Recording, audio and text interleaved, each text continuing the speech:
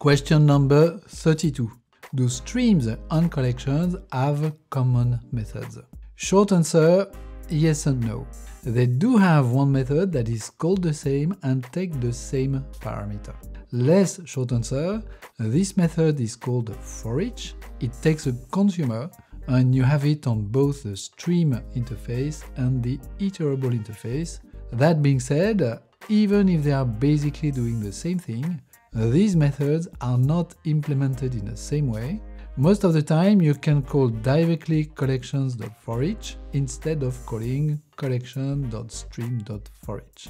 That makes you save the creation of the stream object. If you don't use it, why would you want to create it?